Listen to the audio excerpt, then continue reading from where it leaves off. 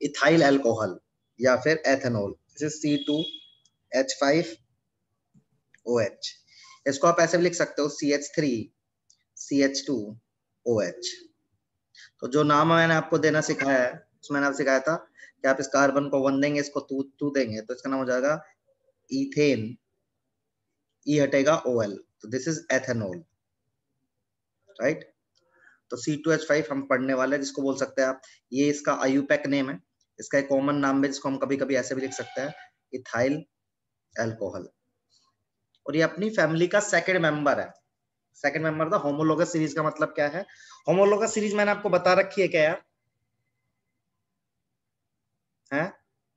Homologous का मतलब बता रखा है आपको मैंने? निखिल, देवांश? सर, मैं तो था नहीं। सर, मता तो है, मुझे नहीं पता, आपने बताया कि नहीं बताया? अच्छा नो सर नहीं बताया। अच्छा होमोलोगस का मतलब क्या होता है? मैं बताता हूँ आपको देखो बहुत आसान होता है। ऐसे आप मान लो आप देख तो मीथेन का फॉर्मूला क्या है बेटा? सी एच फोर इथेन का फॉर्मूला क्या है? सी टू प्रोपेन का फॉर्मूला क्या है? ऐसे? तो ये सब इनके अंदर ना सब ये एल्केन है। क्या है ये? एल्केन और इनके दो मेंबर के बीच का डिफरेंस यदि आप चेक करेंगे तो कितना आएगा? देखो सी एच टू कोई भी दो मेंबर उठा लो डिफरेंस कितना आएगा? सी एच टू तो ऐसी सीरीज़ को बोलते हैं होमोलोगस सीरीज़ मतलब बिटवीन द टू मेंबर मैं लिख देता हूँ between the two member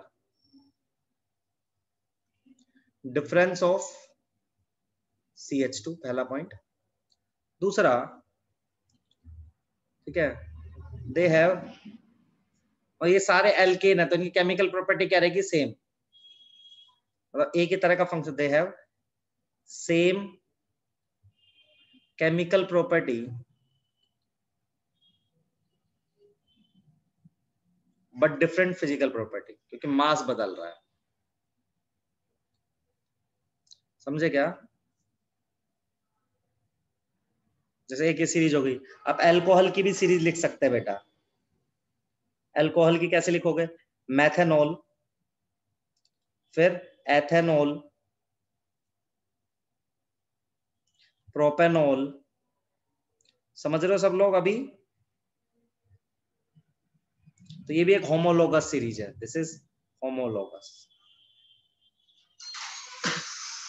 this is methanol ethanol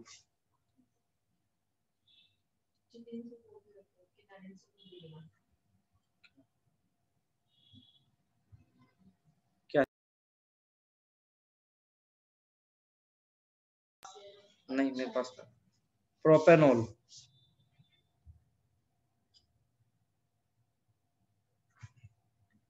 तो समझ समझ गए सब क्या है? होमोलोगस सीरीज़ समझ गए सब लोग? यस सर तो सबसे पहले इसको कोई लिख लो आप। फिर फिर आएँगे इथाइल अल्कोहल पर।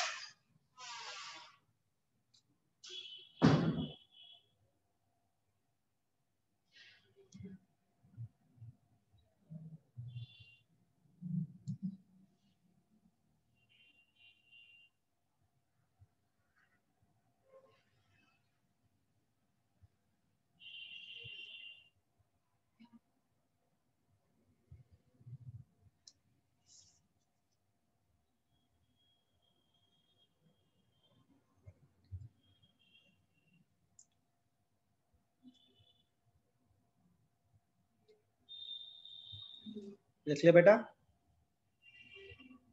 यस सर सबने लिख लिया? चलो। तो देखो एथेनॉल क्या है बेटा? सेकंड मेंबर है अपनी फैमिली का। तो पहली लाइन लिखा ethanol is the second member of homologous series of alcohol फिर ये बनता कैसे है? ये बनता है फर्मेंटेशन प्रोसेस से। फर्मेंटेशन क्या होता है? सुक्रोज होता है। C twelve H twenty two O six इसको पानी में डालते हैं इन्वर्टेज एक एंजाइम होता है तो ग्लूकोज और फ्रक्टोज बनता है। फिर ग्लूकोज को और जाइमेज नाम के एंजाइम में डालते हैं तो क्या बन जाता है अपने पास? इथाइल अल्कोहल प्लस सीओ तो आप ये लिखेंगे पूरा।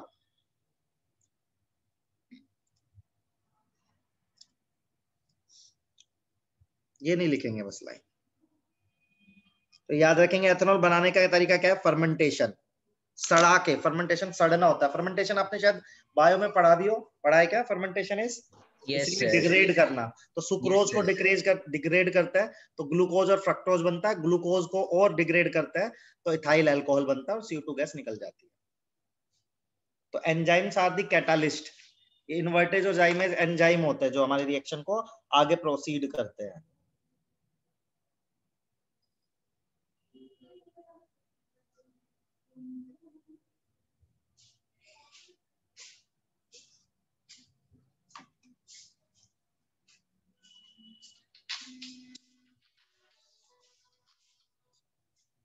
hello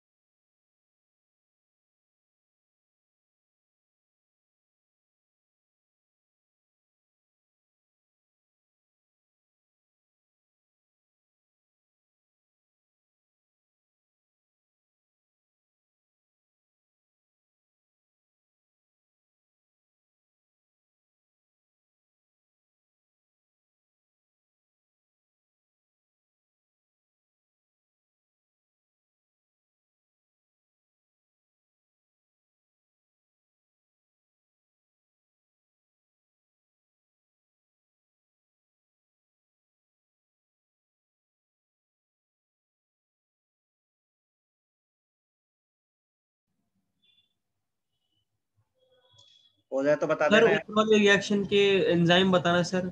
Invertase invertase I N V E R T A S E फिर zymase Z Y M A S E तो थोड़ा अच्छे से छपा नहीं है ना? आगे एकदम साफ़ है देखो। आगे मैंने फिर वो आगे देखो एकदम साफ़ साफ़ लिखा है। ठीक है बस वो ये दो पेज ही एक पेज ही गड़बड़ आ गया था वो। इमेज ली थी ना मैंने तो गड़बड़ हो गई थी। साफ़ नहीं दिख रहा होगा। आपको मैं पढ़ देता हूँ। मुझे कुछ दिक्कत है तो पूछ लें। और सर ग्लूकोज और फ्रक्टोज का एक ही होता है। हाँ फॉर्मूला सेम होता है। बेटा इनके स्ट्रक्चर्स अलग अलग होते हैं। ऐसे मतलब जिनका फॉर्मूला अलग अलग हो स्ट्रक्चर अलग अलग बोलते हैं स्ट्रक्चरल आइसोमर आइसोमर एक वर्ड आपको पढ़ाएँगे हम फ्यूचर में। फॉर्मूला सेम होता है। पर chemically both are different right क्योंकि इनके स्ट्रक्चर्स अलग है मॉलिक्यूल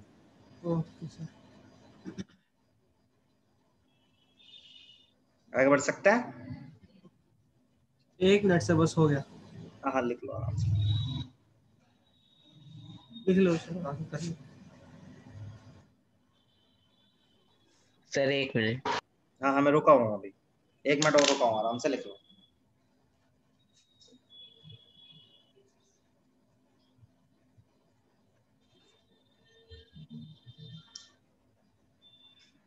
तो मैं आपके सिलेबस से थोड़ा ज़्यादा ही पढ़ा रहा हूँ। कुछ चीज़ें हट गई होंगी, लेकिन अपन एक बार पढ़ना स्टार्ट कर दे तो पूरा अच्छे से पढ़ के फिर ही खत्म करेंगे, ठीक है? उसमें से जो जो आपको लगे वो देख लेना सिलेबस में वो पढ़ लेना, बाकी छोड़ देना।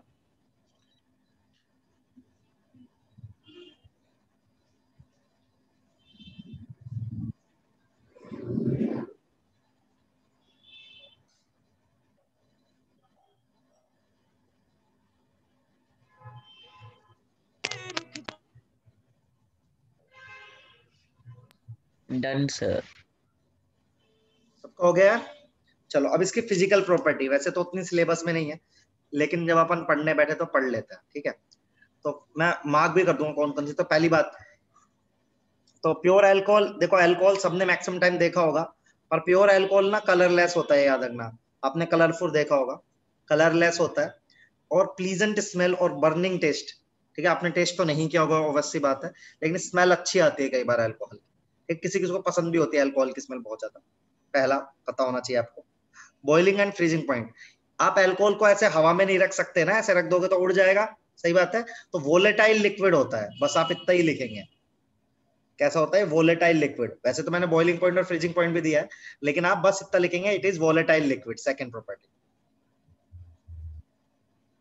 density alcohol ethanol is lighter than water सही बात है। पानी से हल्का होता है, ये पता होना चाहिए आपको सोलिबिलिटी बहुत ज़्यादा सोलिबल होता है। मिजेबल का मतलब क्या होता है बेटा? एक्सट्रीमली सोलिबल आपको पता है, लोग एल्कोहल में पानी डाल के पीते हैं ना तो तभी तो होता है। ठीक है, ये छोड़ देना आप। हाइड्रोजन बॉन्डिंग हाइड्रोजन बॉन्डिंग आपको याद नहीं करना है अभी। लेकिन आपको ये पता होना चाहिए सोलिबिलिटी बहुत ज़्यादा होती है ethanol is highly soluble conductor होता ही है यार। एथेनॉल इज़ कौन compound does not ionize easily in water तो डायरेक्टली ये पानी के अंदर तो नहीं आयोनाइज होगा। लेकिन वैसे हो सकता है तो न्यूट्रल कंपाउंड की तरह हम काम करेंगे। ठीक है? न्यूट्रल है तो लिटमस पता है सबको? लिटमस पता है ना? लिटमस किस लिए यूज़ करते हैं एसिड बेस तो वैसे तो ये एथेनॉल एसिडिक नेचर रखता है मतलब एसिड होता है लेकिन उतना स्ट्रॉन्ग एसिड नहीं होता। तो एथेनॉल पर सॉरी एथेनॉल लिटमस पर हमें कोई भी कलर चेंज नहीं देता। Blue to red to blue होता है लेकिन वो हमें ये चेंज नहीं देता है। तो ये सारी प्रॉपर्टीज़ आप वन बाय वन करके छोटे छोटे में लिख लो। इतना पूरा मत लिखना पॉइंट डाल डाल के छोटे छोटे लिख लेना बस।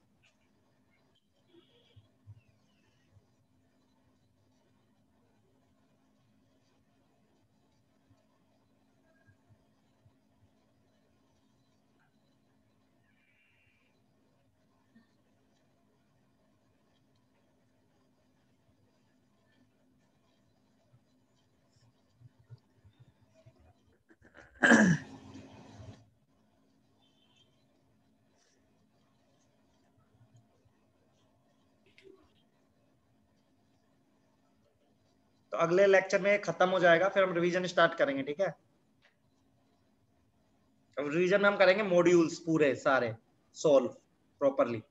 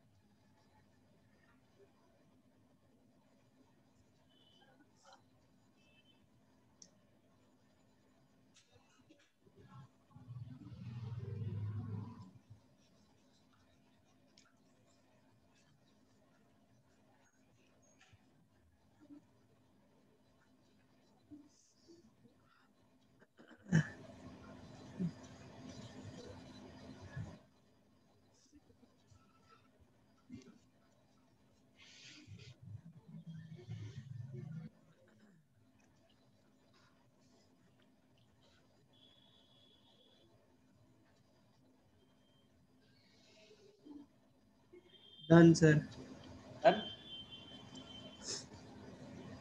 छोटे छोटे पॉइंट लिखना, बोलना पूरा पूरा मत लिख देना colourless burning smell volatile liquid ऐसे छोटे छोटे पॉइंट लिखो lighter than water soluble in water not conductor ऐसे लिख दो, फटाफट।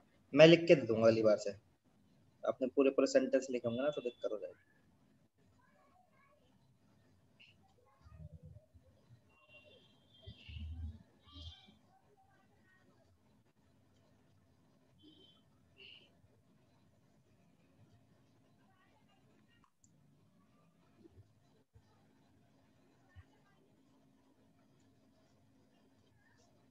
हो गया सबका?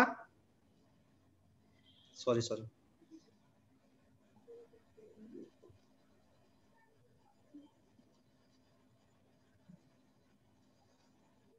हो गया बेटा सबका? यस सर चलिए इसकी रिएक्शन पहली रिएक्शन है इसकी कंबशन कंबशन में आपको ऑलरेडी पढ़ा रखा है कि किसी भी को अपन कंबशन करेंगे तो कोई भी ये गलत लिख दिया सी सिक्स नहीं है यहाँ पे ये रिएक्शन थी। C two H five O H combustion में आपको ऑलरेडी पढ़ा रखा हूँ। कंबशन का मतलब क्या होता है बेटा?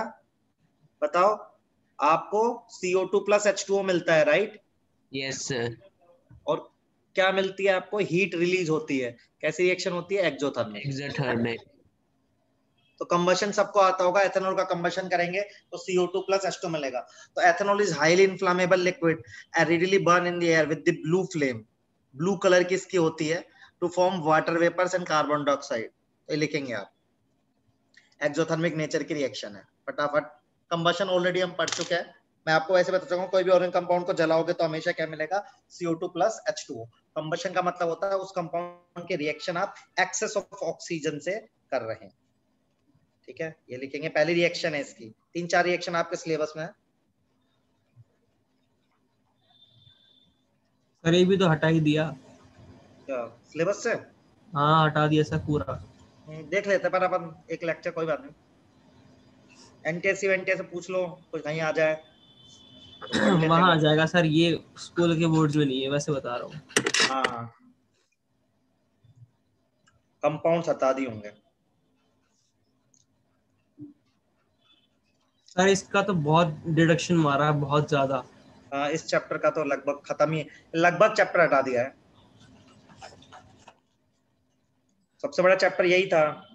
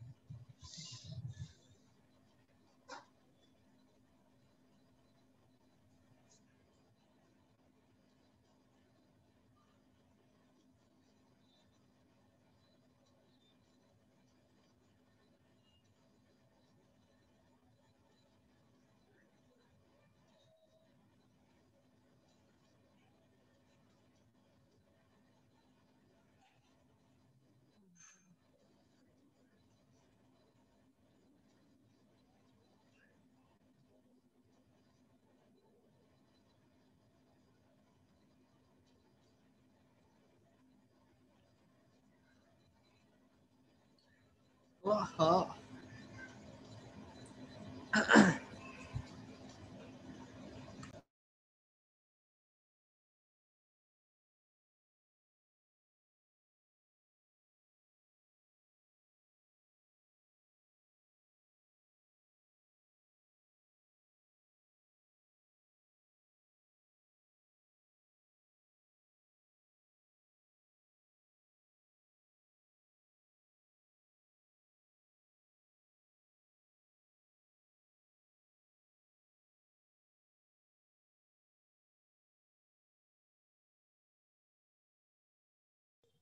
हाँ यार हो गया?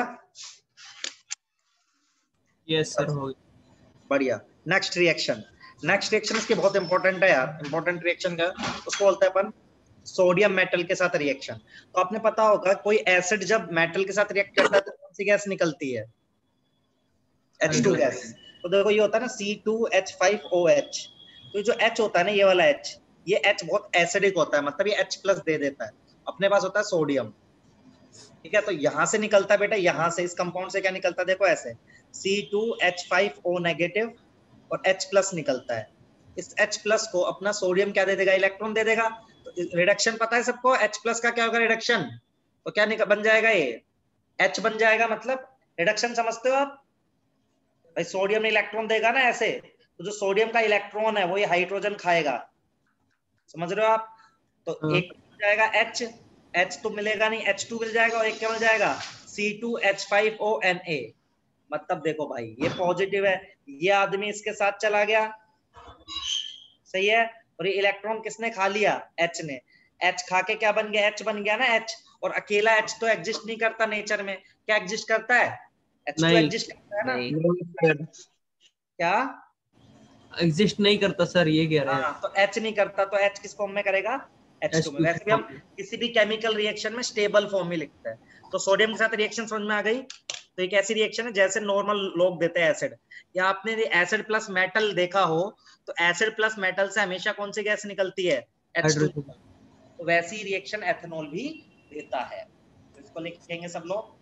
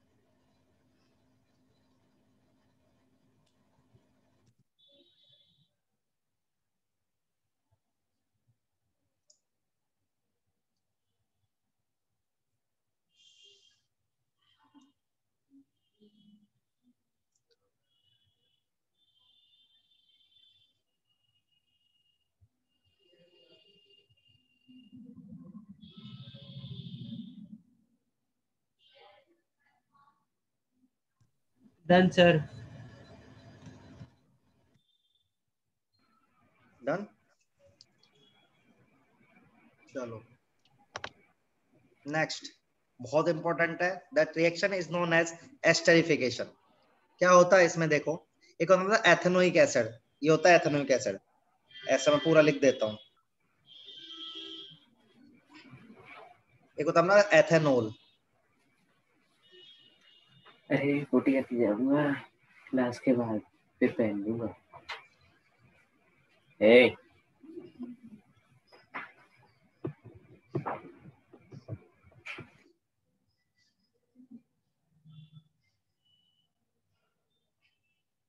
क्या हो गया बे? है ना? अब देखो इसकी रिएक्शन कैसे तो मैं बता रहा हूँ देखो। यहाँ से ना पानी निकाल दो ऐसे करके। पानी पानी को माइनस कर दो तो क्या बन जाएगा?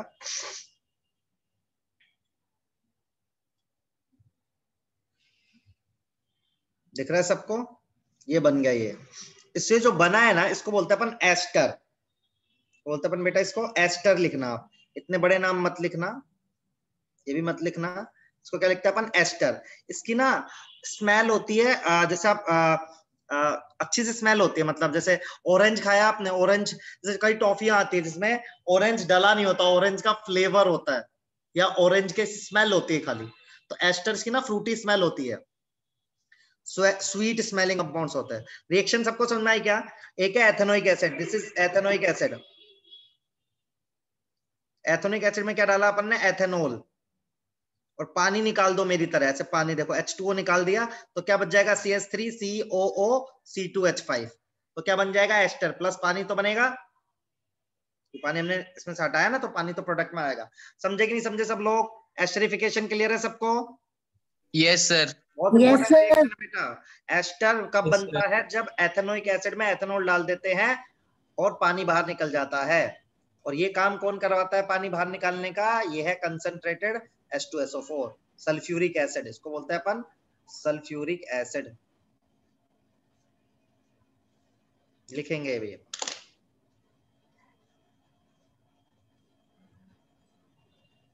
तो ऐसा रिवर्सिबल है ना फिर तो इसके एरोज के अकॉर्डिंग हाँ रिवर्सिबल है। इसके रिवर्स को बताएँगे बाद में। सपोनिफिकेशन बोलते हैं इसके रिवर्स को। वो भी बता देंगे चलो आगे।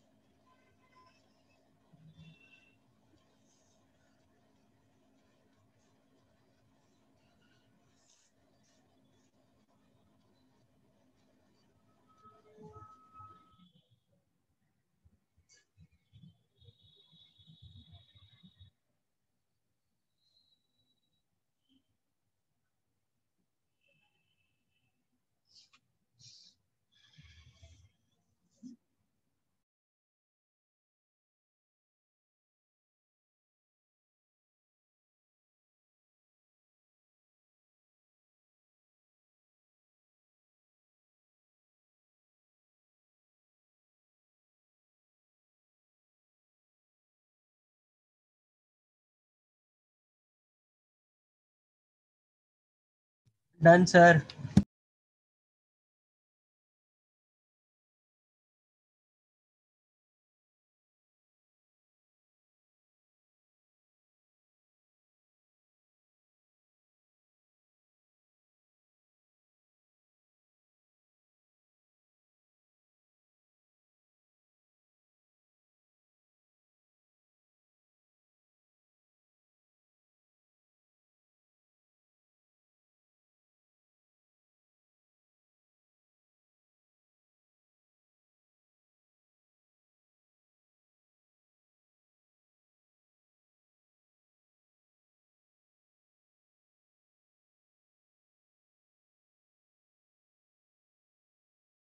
हाँ जी बेटा हो गया? Next reaction sorry sir please wait okay ये समझ तो आ गया ना इसका प्रोडक्ट कैसे लिखोगे? मेरी तरह। H2O निकाल के याद रखना ठीक है? अपने आप आंसर आ जाएगा।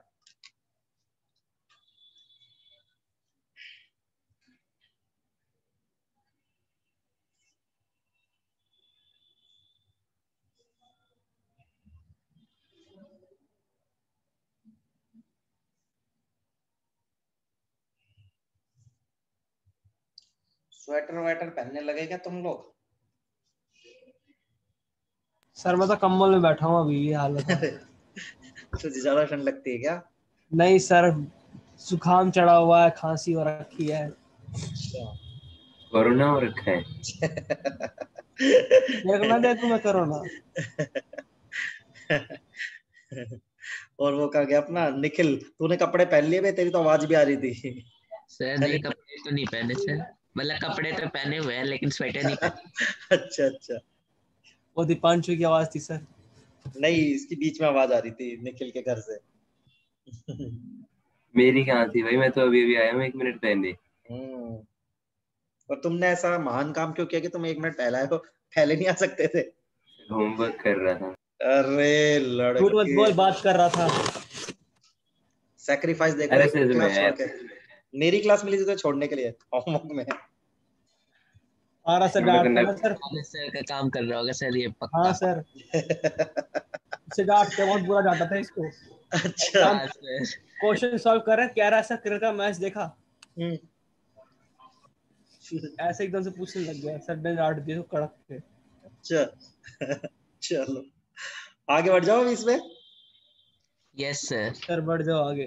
चलो। नेक्स्ट रिएक्शन है इसको बोलते हैं डिहाइड्रेशन वैसे एनसीईआरटी की नहीं है, लेकिन आपको एनटीएससी में पूछी जा सकती है।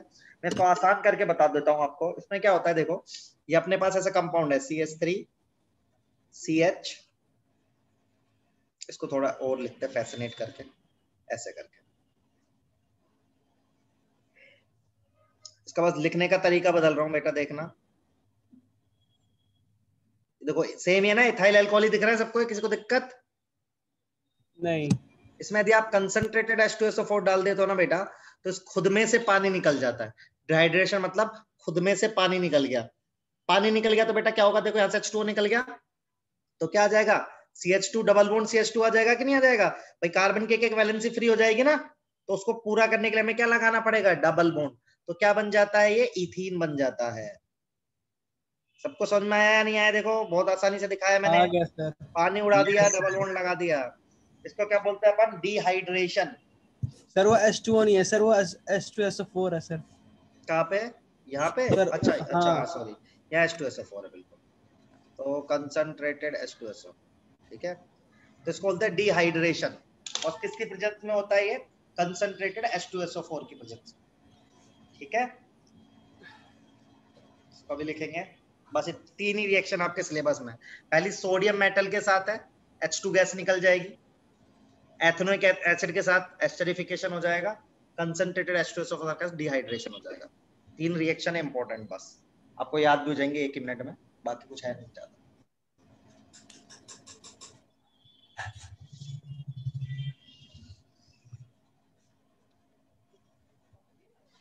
तो होमवर्क आप क्या ही करते हो? चेक कैसे करता है कोई होमवर्क आपका?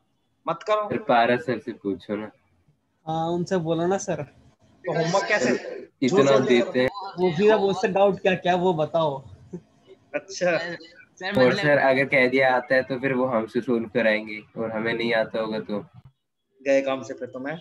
डर तो होना चाहिए यार देखो इसका तो मैं सपोर्ट करूँगा। सर देखो मुझे तो मतलब उतना डर नहीं लगता उनसे लेकिन सर मैं काम कर ही लेता हूँ। क्यों? वैसे अच्छा। मतलब नहीं नुकसान है। हम्म ये तो बात सही है। मैथ में प्रैक्टिस ज़्यादा चाहिए भी यार तुमको टेंथ में हो ना टेंथ में मैथ में प्रैक्टिस चाहिए सबसे ज़्यादा।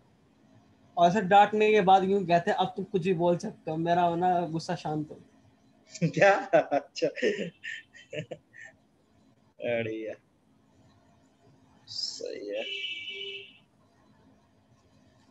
सर हम्म। जब मैं कार्बन और कंपाउंड की वीडियोस देख रहा था तो सर अरे लड़के तू कब आया हाँ हाँ तो वीडियो देख रहा था तो क्या हुआ? सर पहल, पहला वीडियो समझ आया सर और हाँ। फिर ना दूसरा स्टार्ट हुआ। हाँ. तो हाँ। बीच में शायद सर कुछ मिसिंग था वीडियो मुझे ऐसा लग रहा था सर। अच्छा देखना पड़ेगा यार। तो तू एक काम कर नोट्स लिख के और मुझसे पूछ ले अगली बारी। नो आपने फिर मतलब चेन बनाना चेन सिलेक्ट करना सिखाया था ना? हाँ। तो उससे तो- पहले भी एक वीडियो थी उसमें तो आपने एक बारी एक बारी नोट्स देख ले फिर पता चल जाएगा। ठीक है सर।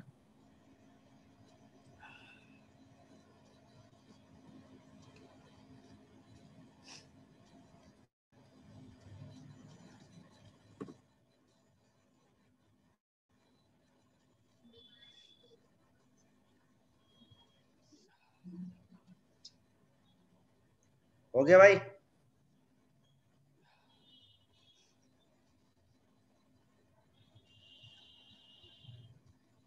हो गया सर।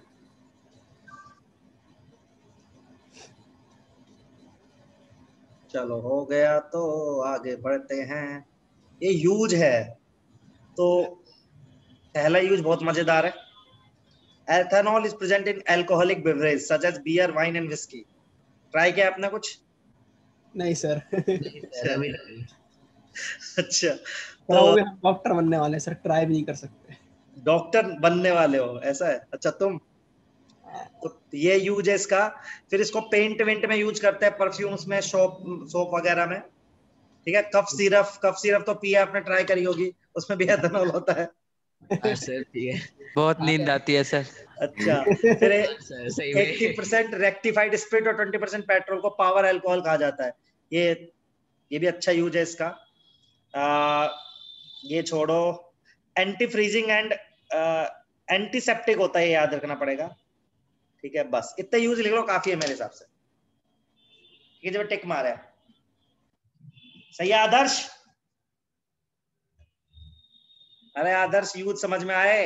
यस सर बोल सर बचपन में ही समझ में आ गए थे ये है? ये सब ये सब पता थे सर मुझे पहले हाँ से। हाँ तो पता होंगे ही हम कब मना कर रहे ये पोर्शन तो तेरा स्ट्रॉन्ग है Aadarsh. Yes sir degree college से डिप्लोमा मार रखा है। उस दिन कोई बोल तो रहा था दारू कौन बोल रहा था आपने से? आदर्श ही तो था वो पिछली क्लास में है ना? मुझे लगा था आप हिंदी में सुनना चाहते हो तो इसलिए मैंने। अच्छा। सही है टा चलो बढ़िया ये लिखते रहो छोटे छोटे यूज़ है लिख लो।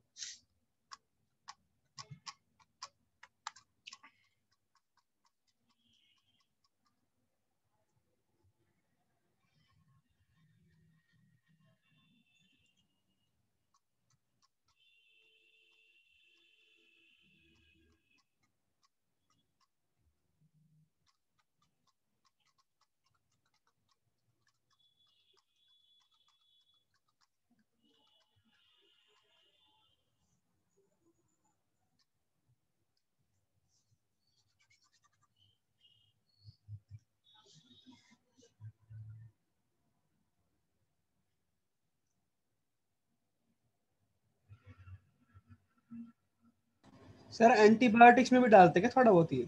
हाँ एंटीबायोटिक्स नहीं एंटीसेप्टिक एंटीबायोटिक तो अलग ही चीज़ होगी ना। तो सर उसको भी खाने से नींद ही आती है सर बहुत ज़्यादा। एंटीबायोटिक तो अलग चीज़ हो जाती है बेटा। तो केमिकल कंपाउंड है। वो भी नींद ही आएगी उससे। तो एंटीबायोटिक तो डिफरेंट होता है ना वो रिवर्स होता है मतलब एंटी को मतलब एंटीजन होता है उसको मारने का काम करता है वायरस का उल्टा। यस यस डब्ल्यू होती है आई थिंक तो नॉर्मल एंटीसेप्टिक होता है. अरे एथेनॉल का तो यूज़ समझ में आ गया होगा ना सैनिटाइजर हाँ सर वो तो रोज ही हो रहा है। आदर्श तो पी तो नहीं जाता कहीं सैनिटाइजर को? अलग अलग होती है दोनों चीज़ें। नहीं सर नहीं सर अच्छा ठीक है।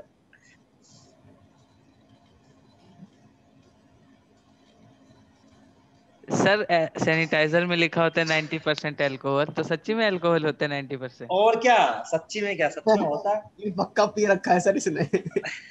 दो तरह के आते हैं। कुछ में आइसोप्रोपाइल अल्कोहल होता है वो एक अलग चीज़ है। कुछ में तो प्योर एथेनॉल होता है। जो कोरोना वाला जो चला था उसमें प्योर एथेनॉल ही था। एथेनॉल से ही बनाते हैं। सर रॉयल स्टैग ने भी अपना सैनिटाइजर लॉन्च कर दिया है। सही है लड़के। इसको कितना पता है? तो हमें भी नहीं पता। ये लिख लिया आपने फिर? यस हाँ सर लिया।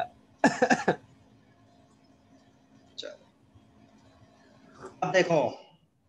आदर्श ड्रिंकिंग ऑफ़ अल्कोहल और a long period of time damage liver तो नहीं पीना चाहिए हमें बहुत ज़्यादा। एक्सेस में। ये इसका डिसएडवांटेज भी है। देखो होता है डीनेचर्ड अल्कोहल है ना? जहरीली शराब आपने सुना होगा ऐसे। तो डीनेचर्ड में क्या होता है कि मिथाइल अल्कोहल देखो मैं हमेशा बताता हूँ आपको मज़ेदार बात क्या है। एक होता है मिथाइल अल्कोहल इसको पियोगे सीधा भगवान के पास पहुँच जाओगे वापस नहीं आओगे पॉइजनस होता है। इथाइल अल्कोहल इसको पियोगे तो भी भगवान के पास तो जाओगे लेकिन लौट के आ जाओगे थोड़े टाइम में मज़े करके समझ रहे हो आप? लेकिन इसको पी लिया वापस नहीं आओगे। तो एथेनॉल में गलती से यदि मैथेनॉल डल जाता है ना तो फिर क्या हो जाता है? डीनेचर्ड अल्कोहल बोलते हैं उसको। जिसको आपने सुना जहरीली शराब पीने से इतने लोगों की मृत्यु हुई। तो हाँ, क्या करता है इथाइल अल्कोहल की जगह उसमें मिथाइल अल्कोहल चला जाता है। एक ही कार्बन का अंतर है भाई देखो। इसलिए कार्बन बहुत ही सुंदर है। सिर्फ़ एक कार्बन के अंतर के कारण कितना ड्रास्टिक चेंज है। एक को लोग पी रहे हैं चिल मार रहे हैं। एक को पी रहे सीधा खत्म हो जा रहे हैं। ठीक है? तो ये आपको पता होना चाहिए। That is denatured alcohol sir सुंदर सर खतरनाक चीज़ है सर कार्बन बहुत ज़्यादा। हाँ। मतलब एक कार्बन के अंतर से देखो कितनी प्रॉपर्टी चेंज हो जाती है। ऐसे इसके ऊपर वाला होता है नेक्स्ट जो आता है थर्ड प्रोपेनोल प्रोपेनोल का एक वर्जन होता है आइसोप्रोपाइल अल्कोहल ठीक है? आइसोप्रोपाइल अल्कोहल होता है बिल्कुल आप लगाओगे ठंडक देगा। कई सैनिटाइजर नहीं होते जो बिल्कुल ऐसे एक सैनिटाइजर लगान से ठंडा ठंडा लगा ऐसे Yes, सैनिटाइजर yes. डिटॉल वाले होते सर वो? हाँ? डिटॉल वाले होते सारे हाँ खुशबू वाले खुशबू वाले। वो आइसोप्रोपाइल अल्कोहल से बना उन पे लिखा देखना उसकी बोतल पे। जो ठंडा ठंडा करेंगे ना आपको ऐसे मारोगे हाथ पे तो ठंडा ठंडा लगेगा। वो आइसोप्रोपाइल अल्कोहल डाला होता है। और सर परफ्यूम्स में? परफ्यूम्स में बेटा परफ्यूम्स में तो मिक्सचर होता है। नॉट एग्जैक्टली एथेनॉल परफ्यूम को परफ्यूम तो एक बेसिकली कंपाउंड रहेगा जो जिसकी खुशबू रहेगी।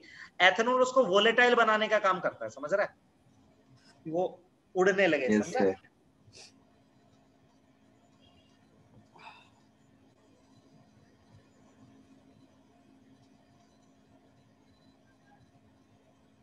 और सर ये पायराइडिन क्या है सर? पायराइडीन भी एक कंपाउंड होता है बेटा। बना के दिखाऊँ? लिख दो सर फॉर्मूला लिख ही लेंगे। सर, आपने कार्बन की सेकंड वीडियो अपलोड नहीं की, सर। अच्छा। तभी करवाते हैं। ऐसा होता है। इसका केमिकल कंपाउंड मैं बना लेता हूँ जा। क्या बनेगा? एक, दो, तीन, चार, पाँच। मैंने कभी इसको ऐसे लिखा ही नहीं आज तक। सी फाइव एच कितना आएगा? दो, एक, दो C five H five N ऐसा आएगा फॉर्मूला मैंने कभी इसका फॉर्मूला ऐसे लिखा ही नहीं ज़िंदगी में। ठीक है यार? हाँ सर। चल। आगे बढ़े यस सर नेक्स्ट नेक्स्ट अपने पास एथेनोइक एसिड है। एथेनोइक एसिड का फॉर्मूला क्या होता है बेटा? या एथेनोइक एसिड या इसको एसिटिक एसिड भी बोलते हैं। दूसरा कंपाउंड ऐसा होता है C S three C O H तो इसका नाम लिखोगे तो ये वन कार्बन है टू कार्बन है। तो कैसे लिखोगे? इथेन वन ओइक एसिड या वन हटा भी सकते हैं। ठीक है? तो ये एसिडिक एसिड के नाम से बोला जाता है और ये किसकी होमोलोगस सीरीज़ आएगी? कार्बोलिक कार्बोक्सिलिक एसिड की। इसका पहला एसिड पहला क्या रहेगा? जैसे एथेनोइक है। एथेनोइक के बाद क्या आ जाएगा अपने पास? Propanoic acid propanoid butanoic acid ऐसे तो ये पहला एलिमेंट है अपनी होमोलोगस सीरीज़ का। अच्छा आपने विनेगर तो सुना होगा सबने विनेगर खाते ना चाउमीन में? यस सर Yes, विनेगर इसी का ही मिक्स होता है फाइव से एट परसेंट सोल्यूशन होता है एसिडिक एसिड का। तो उसको विनेगर बोलते हैं अपन। ठीक है? तो यूज़ फॉर प्रिजर्वेटिंग का foods and sauce and pickles ये सब। ठीक है? तो इसको भी लिखेंगे। ये दूसरा कंपाउंड है जो हमें पढ़ना है आपके एनसीईआरटी में। गिवन। ये बहुत छोटा है इसकी दो दो रिएक्शन है अपने पास बस। ज़्यादा नहीं टेंशन मत लेना।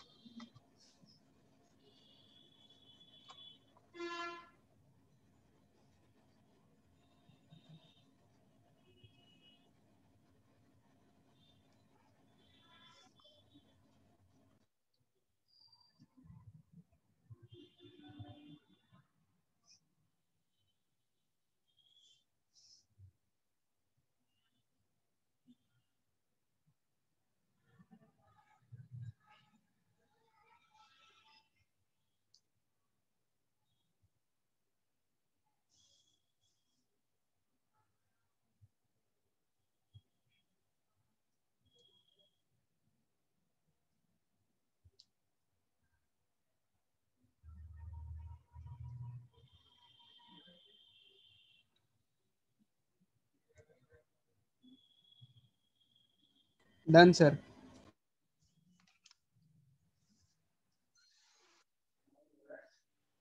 फ़िज़िकल प्रॉपर्टी तो एट ऑर्डिनरी टेम्परेचर रहता है कलरलेस लिक्विड तो आप ऐसे ऐसे लिखोगे। मैं लिख देता हूँ शॉर्टकट में ना, जिससे कि आपको मेहनत ना लगे। तो ये क्या होता है? कलरलेस लिक्विड होता है। Colourless liquid pungent smell pungent समझते हैं आप? जैसे क्लोरीन की स्मेल पानी की टंकी में डलती है ना एसिड है तो सोर टेस्ट होता है। पहला। पंजेंट समझते हो ना आप, एकदम से चुभने वाली। ठीक है? दूसरी इसकी फ़िज़िकल प्रॉपर्टी है सोल्यूबल इन वाटर बस इतने ही लिखो यार, आपके इतने काम का है वेस्ट है ये। इतना लिखने की ज़रूरत ही नहीं है आपको। तो colourless liquid pungent smell sour taste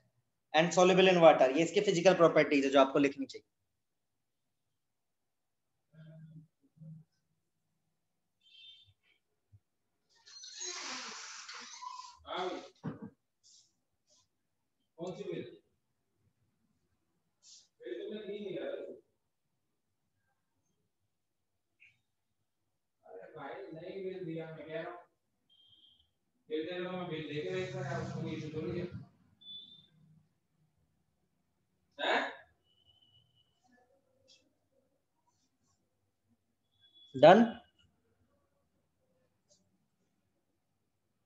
yes sir yes sir देखो ये रिएक्शन तो पहले से ही आती है आपको।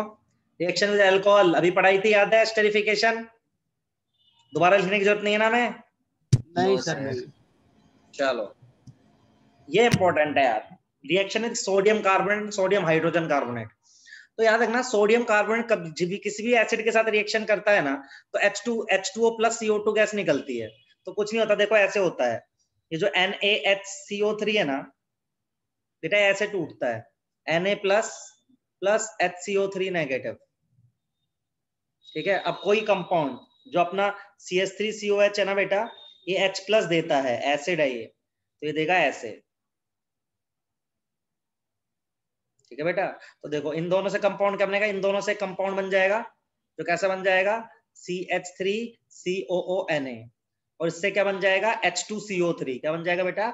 H two C O three H two C O three का आप ऐसे लिख सकते हो हमेशा।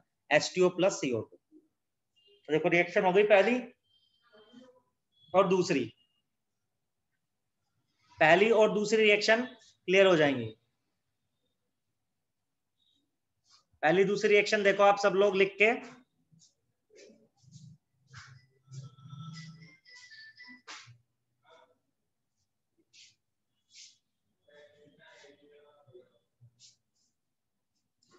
समझ में आई क्या? पहली दूसरी रिएक्शन बोलो बेटा। यस सर ये ये मत लिखना आप ये आपको ज़रूरत बस इतना लिख लो।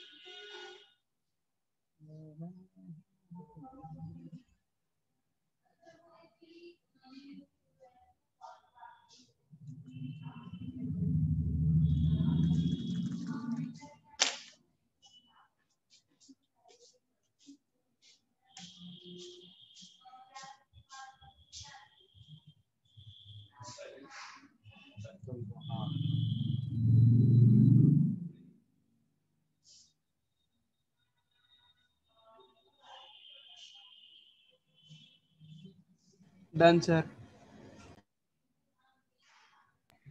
please wait sir हाँ हाँ वैसे भी आज इतना ही पढ़ाऊँगा। लास्ट अब अगले में बस वही बचा है सोप एंड डिटर्जेंट वो अगले क्लास में पढ़ाऊँगा वैसे। तो ये सब मान लो एनटीएससी के लिए मान लो यार। एनटीएससी में तो हटा नहीं है। तो एनटीएससी का मान लो। फिर मैं एक बार बोर्ड के लिए दोबारा पढ़ा दूँगा सारे चैप्टर अभी तो टाइम है ना। हर वीक एक चैप्टर पढ़ाया करूँगा अब। है पूरा चैप्टर रिवाइज करा के उसका मॉड्यूल अब आपको सोल्व करना है। समझ में आया सबको? मॉड्यूल सबको मिले? दिखे सबको? यस yes, सर तो पहला मॉड्यूल स्टार्ट कर दो। उसमें थ्योरी भी है उसमें क्वेश्चन भी है पूरा ढंग से पहले चैप्टर से। इंस्टीट्यूट सब रीओपन होंगे? इंस्टीट्यूट तो यार इंस्टीट्यूट तो नहीं पर हम तुम्हें बुलाएँगे यार दसवीं क्लास वालों को बुलाएँगे। दसवीं और बारहवीं को हम बुलाना स्टार्ट करेंगे। तुम तो वैसे भी पाँच छह बच्चे हो ना तो तुम्हारा बोर्ड से रहेंगे तो तुम्हें बुलाएँगे। अभी प्लान कर रहे हैं थोड़ा सा। बाकी लोगों को नहीं बुला रहे लेकिन तुम्हें बुलाना पड़ेगा।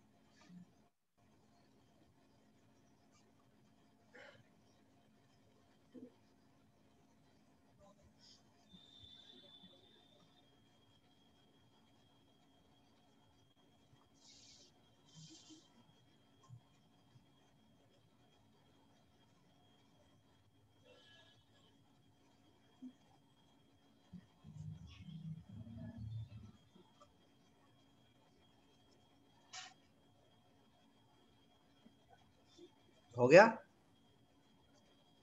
Yes sir